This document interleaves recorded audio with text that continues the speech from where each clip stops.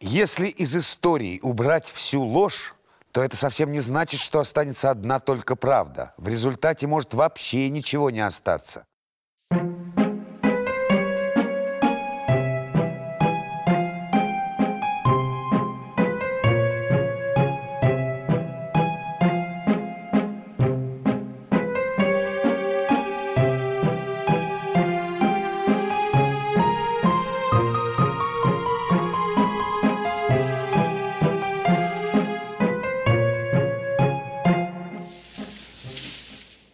Известно, что обычай праздновать день 1 мая по старому стилю в Москве идет со времен Петра Великого. Особенно шумно этот день отмечался городскими жителями в Сокольниках. Вблизи этого места было первое становище немцев, вызванных и добровольно приехавших в Россию.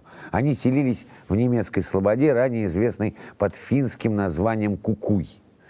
Позднее Петр I поселил близ Сокольничьей рощи пленных шведов, которые знали какое-нибудь ремесло, и дал им в обучение русских мальчиков.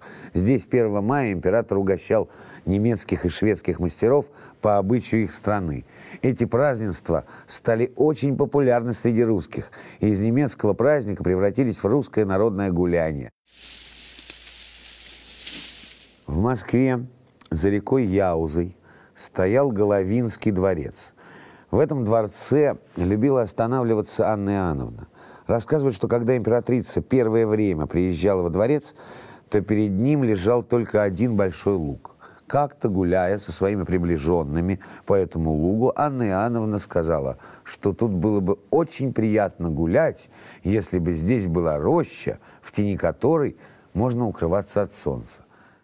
Через несколько дней в Головинском дворце должно было состояться какое-то торжество. Рано утром императрица подошла к окну, чтобы посмотреть, какая стоит погода. Она была поражена, так как из окна была видна обширная роща из старых деревьев. Императрица потребовала объяснения такому чуду.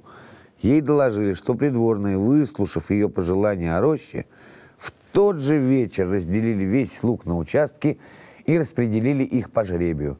В ночь, накануне торжества, каждый придворный со своими слугами засадил свою часть участка красивыми деревьями. Говорят, что еще в середине XIX века на некоторых деревьях можно было видеть имена придворных, которые их посадили.